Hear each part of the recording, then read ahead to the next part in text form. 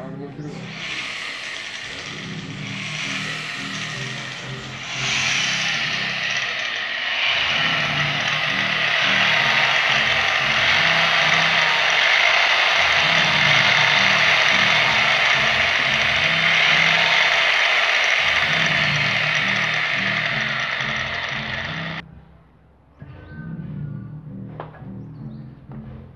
നമ്മുടെ ഇപ്പോഴത്തെ ദൈനംദിന ചിലവുകൾ ഭയങ്കരമായിട്ട് വർദ്ധിച്ചിരിക്കുകയാണ്. അതിൽ ഏറ്റവും കൂടുതൽ നമുക്ക് നമ്മളെ പിടിച്ചുലയ്ക്കുന്ന ഒന്നെന്ന് പറയുന്നത് നമ്മുടെ വൈദ്യുത നിരക്കാണ്. ഇപ്പോൾ കഴിഞ്ഞ ദിവസം കെ എസ് ബി വൈദ്യുത നിരക്ക് വർദ്ധിപ്പിച്ചിട്ടുണ്ട്.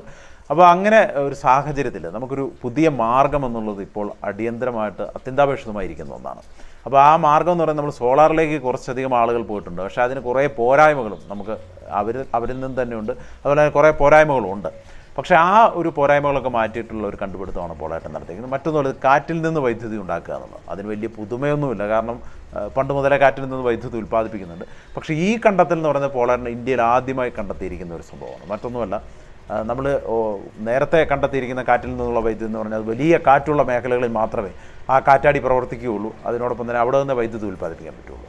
പക്ഷേ ഇത് നമ്മൾ ഈ വീഡിയോയിൽ കണ്ട പോലെ ജസ്റ്റ് കൈകൊണ്ടൊന്നിങ്ങനെ കറക്കിയാൽ തന്നെ വൈദ്യുതി ഉൽപ്പാദിപ്പിച്ചു തുടങ്ങുന്നു.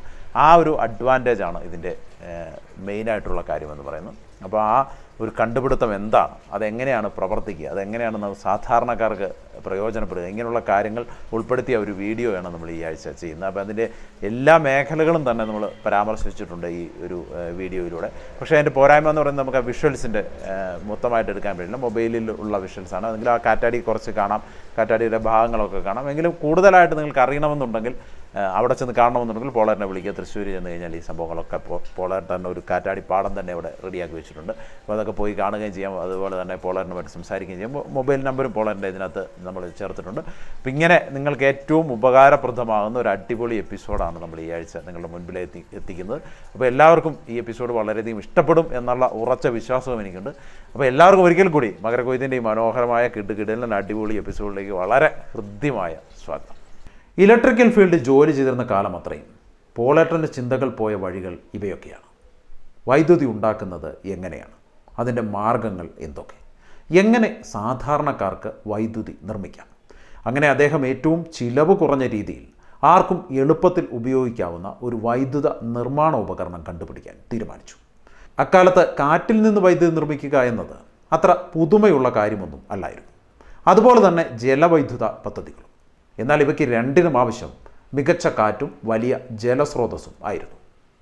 കാറ്റാടിയിൽ നിന്നുള്ള വൈദ്യുതി ഉൽപ്പാദനത്തിനായി റേഡിയൽ ഫ്ലക്സ് ആണ് ഉപയോഗിച്ചിരുന്നത്. റേഡിയൽ ഫ്ലക്സ് എന്ന് പറഞ്ഞാൽ കോപ്പറിന്റെയും അയണിന്റെയും വൈൻഡിങ്ങോട് കൂടിയ മോട്ടോർ. എന്നാൽ ഈ മോട്ടോർ വലിയ കാറ്റുള്ള സ്ഥലങ്ങളിൽ മാത്രമേ വൈദ്യുതി ഉൽപ്പാദിപ്പിക്കാറുള്ളൂ. അതായത് ഹൈ ആർ പി എമ്മിൽ മാത്രമേ ഇവ പ്രവർത്തിക്കൂ. അങ്ങനെയാണ് പോളട്ടൻ ഇന്ത്യയിൽ ആരും ഉപയോഗിക്കാത്ത ഒരു മാർഗത്തിലേക്ക് തിരിയുന്നത്. Axial flux. അപ്പോൾ ഇത് രണ്ട് ടൈപ്പിലാണ് നമുക്ക് എക്സൽ ജനറേറ്റർ ഉള്ളത്. ഒന്ന് റേഡിയൽ ഫ്ലക്സ് മറ്റൊന്ന് ആക്സൽ ഫ്ലക്സ് ഈ ആക്സൽ ഫ്ലക്സും റേഡിയൽ ഫ്ലക്സും തമ്മിലുള്ള വ്യത്യാസം എന്ന് പറയുന്നത് ഒന്നിനകത്ത് കോർ ഉണ്ടാവും ഒന്നിനകത്ത് കോറുണ്ടാവില്ല അപ്പോൾ ആക്സൽ ഫ്ലക്സിനകത്ത് കോറില്ല കോർലെസ് ആണ്. റേഡിയൽ ഫ്ലക്സിനകത്ത് കോറുണ്ടാവും ഈ രണ്ട് വ്യത്യാസങ്ങളാണ് ഉള്ളത്. അപ്പോൾ നമ്മൾ ചെയ്തിരിക്കുന്നത് ഇവിടെ ആക്സൽ ഫ്ലക്സ് ആണ് ഇതിന് മാഗ്നറ്റും കോയിലും മാത്രമേ യൂസ് ചെയ്യുന്നുള്ളൂ. അത് മാത്രമല്ല ഇതിന് എഫിഷ്യൻസിയും കൂടുതൽ ആർ പി എം കുറവ് മതി. വിൻഡ് കുറച്ച് മതി. നമുക്ക് നല്ലൊരു റിസൾട്ട് കിട്ടും. പിന്നെ ഇതിന് braking system M P B ടിയിൽ ബ്രേക്കിംഗ് സിസ്റ്റം ഓവർ വിൻഡ് വന്നു കഴിഞ്ഞാൽ പ്രൊട്ടക്ഷൻ.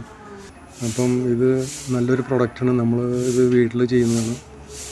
അല്ലാതെ കമ്പനിയും കാര്യങ്ങളൊന്നുമില്ല. പിന്നെ ഫിനിഷിങ്ങിന്റെ കാര്യത്തിലൊക്കെ വളരെ വളരെയധികം ശ്രദ്ധിച്ചിട്ടുണ്ട്. അതും വളരെ ഭംഗിയായിട്ട് ചെയ്തിട്ടുണ്ട്. ആക്സിൽ ഫ്ലെക്സിൽ ഉപയോഗിച്ചിരിക്കുന്ന കോയിൽ മാഗ്നറ്റാണ്. ആയതിനാൽ കൂടുതൽ കാര്യക്ഷമത ഇവ നൽകുന്നു.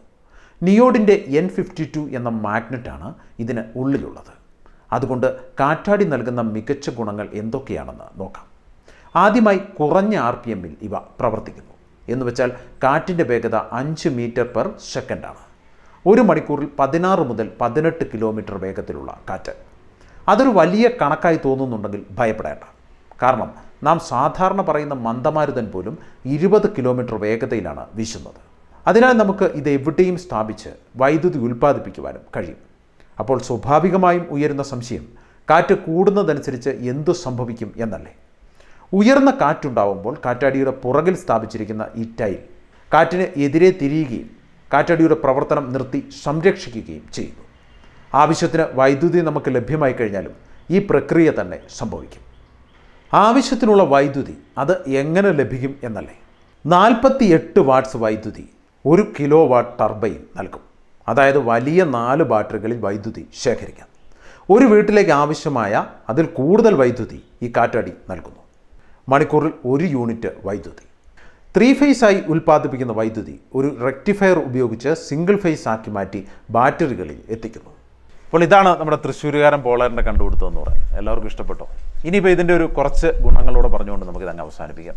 എന്ന് വെച്ചാൽ ഇതിന് ഏകദേശം ഒരു മുപ്പത്തി അഞ്ച് കിലോഗ്രാം ഭാരമേ ഉള്ളൂ. നമുക്ക് വീട്ടുമുറ്റത്തോ ടെറസിലോ എവിടെ വേണമെങ്കിലും ഈസി ആയിട്ട് ഇൻസ്റ്റാൾ ചെയ്യുകയും ചെയ്യാം. അതിനൊപ്പം തന്നെ ഒരു മൂന്നിഞ്ച് പൈപ്പ് മതി അതിൽ ഇവൻ സുഖമായിട്ട് നിൽക്കുകയും ചെയ്യും. വലിയ പ്രശ്നങ്ങളൊന്നും ഉണ്ടാകത്തില്ല അതുപോലെ ഈ ചെറിയ കാറ്റത്ത് നല്ല സ്പീഡിൽ കറങ്ങും നല്ല രീതിയിൽ വൈദ്യുതി നമുക്ക് തരും.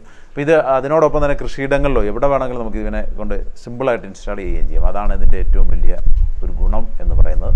അപ്പോൾ അങ്ങനെ ഒരു സംഭവമാണ് നിങ്ങളെ പരിചയം. പിന്നെ ഇതിന്റെ ഒരു വിലഭാഗം നമ്മൾ പറഞ്ഞിരുന്നില്ല. ഏകദേശം എൺപത്തി അയ്യായിരം രൂപയാണ് ഈ ഒരു കാറ്റാടിക്ക് പോളറിന് ഈടാക്കുന്നത്. ഇതിങ്ങനെ നിർമ്മിച്ച് നൽകുന്നതിന്. അപ്പോൾ എനിക്ക് തോന്നുന്നു സോളാർ ഇതിനേക്കാൾ കൂടുതൽ പണമാകുമെന്ന് തോന്നുന്നു. പക്ഷേ സോളാറിനെ കഴിഞ്ഞുള്ള അഡ്വാന്റേജ് എങ്ങനെയാണെന്ന് വെച്ച് കഴിഞ്ഞാൽ സോളാറിന്റെ ഉള്ള ഒരു പ്രോബ്ലം എന്താണെന്ന് വെച്ചാൽ ആ, രാത്രി കാലങ്ങളിൽ സോളാറിൽ നിന്ന് വൈദ്യുതി പല സമയങ്ങളിൽ നമുക്ക് ലഭിക്കാറില്ല. പക്ഷേ ഇത് രാത്രിയും പകലും ഒരുപോലെ തന്നെ വൈദ്യുതി നമുക്ക് നൽകുന്നു എന്നതാണ് ഇതിന്റെ ഏറ്റവും വലിയ ഒരു കാര്യം എന്നുള്ളത്. പിന്നെ മെയിന്റനൻസ് വളരെയധികം കുറവാണ്. പോളേട്ടൻ പറയുന്ന ഏകദേശം ഇരുപത്തി അഞ്ച് വർഷത്തോളം ഇതിന് മെയിന്റനൻസുകൾ ഉണ്ടാവില്ല എന്ന് പറയുന്നത് പിന്നെ ഇടയ്ക്ക് ബയറിങ്ങിന് കംപ്ലൈന്റ് ഉണ്ടാവാനുള്ള സാധ്യതയുണ്ട്. വളരെ റയറായിട്ട് ഉണ്ടാവാറുള്ളൂ എന്നാണ് ആ ഒരു പ്രോബ്ലം മാത്രമേ ഇതിനകത്തുള്ളൂ. ബാക്കിയുള്ള ഇരുപത്തഞ്ച് വർഷം ഇത് സുഗമമായി ഇത് പ്രവർത്തിക്കുകയും ചെയ്യും. ഇത് വാട്ടർ പ്രൂഫാണ് നമുക്ക് എവിടെ വേണമെങ്കിലും വെക്കാമെന്നുള്ളതുകൊണ്ടും അങ്ങനെ ഒരു ഗുണമുണ്ട്. പിന്നെ ഇതിന്റെ ലീഫ് എന്ന് പറയുന്ന ഫൈബറാണ്. അപ്പോൾ ആ വെയിറ്റ് ഇല്ലാതെ വരുന്നത് അതുകൊണ്ടാണ്. അങ്ങനെ കുറേ അധികം വളരെ ശ്രദ്ധിച്ചാണ് പോകുന്നത് കാരണം ഏകദേശം പന്ത്രണ്ട് പതിമൂന്ന് വർഷത്തെ അദ്ദേഹത്തിന്റെ പരീക്ഷണമാണ് നിരന്തര പരീക്ഷണമാണ് ഈ ഒരു കാറ്റാടി എന്ന് പറയുന്നത്. അപ്പോൾ എന്തായാലും ഈ എപ്പിസോഡ് എല്ലാവർക്കും വളരെയധികം ഇഷ്ടപ്പെട്ടു എന്ന് ഞാൻ വിശ്വസിക്കുന്നു. അപ്പോൾ നിങ്ങൾക്ക് ഇഷ്ടപ്പെട്ടെങ്കിൽ ഇത് ലൈക്ക് ചെയ്യുക അതുപോലെ തന്നെ ഷെയർ ചെയ്യുക അതിനോടൊപ്പം തന്നെ കമന്റും കൂടെ ചെയ്യുക. നിങ്ങൾക്ക് ഇഷ്ടപ്പെട്ട ഇഷ്ടപ്പെടാത്ത മേഖലകളുണ്ട് അതും കമന്റ് ചെയ്യുക. അതെല്ലാം ഇതിനടി ചെയ്യുക വളരെ പോസിറ്റീവായിട്ട് തന്നെ നമ്മൾ സ്വീകരിക്കുകയും ചെയ്യും. അതുപോലെ എന്തെങ്കിലും സജഷൻസ് നിങ്ങൾക്കുണ്ടെങ്കിൽ അതും പറയുക. പിന്നെ എന്തെങ്കിലും കൂടുതലായിട്ട് അറിയണമെന്നുണ്ടെങ്കിൽ പോളാറ്റിനെ തന്നെ വിളിക്കേണ്ടതായി വരും. പിന്നെ ഇതുപോലുള്ള നിങ്ങളുടെ കണ്ടുപിടുത്തങ്ങൾ ഇനിയും നിങ്ങൾ എന്തെങ്കിലും കണ്ടുപിടുത്തങ്ങളുണ്ട്? അത് ജനങ്ങളിൽ എത്തിക്കാൻ ആഗ്രഹിക്കുന്നുണ്ടെങ്കിൽ നമ്മളുമായി കോൺടാക്ട് ചെയ്യുക. അതിനകത്ത് എന്റെ നമ്പറും കൊടുത്തിട്ടുണ്ട്. അപ്പോൾ അത് എന്റെ നമ്പറാണ്. അത് ഞാൻ എന്റെ പേരിട്ടുകൊണ്ടാണ് കൊടുക്കുന്നത്. അപ്പോൾ ഒത്തിരി പേര് വിളിച്ചിട്ട് കർഷകനാണോ എന്ന് ചോദിക്കാറുണ്ട്. എനിക്ക് അതിനെ പറ്റിയിട്ടുള്ള അറിവുകൾ പരിമിതമാണ്. കർഷകരെ വിളിക്കുന്നതാവും കൂടുതൽ ഉചിതമായിട്ടുള്ളത്. എനിക്കറിയാവുന്ന കാര്യങ്ങളൊക്കെ ഞാൻ പറഞ്ഞുതരാം. അപ്പോൾ അങ്ങനെയുള്ള കാര്യങ്ങൾക്ക് എന്നോട് ചോദിക്കാതിരിക്കുക ദയവ് ചെയ്ത്. പിന്നെയുള്ള മറ്റ് കാര്യങ്ങളെന്ന് പറയുന്നത് ഈ നിങ്ങൾക്ക് എവിടെയെങ്കിലും ഷൂട്ട് ചെയ്യാനുണ്ടോ? നിങ്ങളുടെ കാർഷിക മേഖലയുമായി ബന്ധപ്പെട്ട കാര്യങ്ങളുണ്ടോ? അതൊക്കെ നമ്മൾ വന്ന് ഷൂട്ട് ചെയ്ത് തരാം. അപ്പോൾ അങ്ങനെയുള്ള കാര്യങ്ങൾക്ക് വേണ്ടിയിട്ട് നമ്മുടെ നമ്പരും കൊടുത്തിട്ടുണ്ട്. അപ്പോൾ എല്ലാവരും വിളിക്കുക. അതിനോടൊപ്പം തന്നെ കമന്റ് ചെയ്യുക. പിന്നെ വാട്സപ്പ് നമ്പറാണ് അത്. അതിലേക്കും കമന്റ് ചെയ്യുകയാണെങ്കിൽ വളരെ നന്നായിരുന്നു. എന്റേതായ മാറ്റങ്ങൾ വരുത്തണമെങ്കിൽ അതും ഒക്കെ ഉൾപ്പെടുത്തുകയാണ് നന്നായിരുന്നു. അപ്പോൾ എല്ലാവരും ഈ ചാനൽ കൂടി ഒന്ന് സബ്സ്ക്രൈബ് ചെയ്യുക സഹായിക്കുക. അപ്പോൾ എല്ലാവർക്കും ഈ എപ്പിസോഡ് വളരെയധികം ഇഷ്ടപ്പെട്ടു എന്ന് വിശ്വസിക്കുന്നു. വീണ്ടും നല്ലൊരു കർഷകനോ കണ്ടുപിടുത്തമോ ഒക്കെ ആയിട്ട് വരാം എന്ന ശുഭാപ്തി വിശ്വാസത്തോടെ വിടവാങ്ങുന്നു. ഐ എം ജോബ് ഗവണി സൈനിക ഫ്രം മകരക്കോയത്ത്.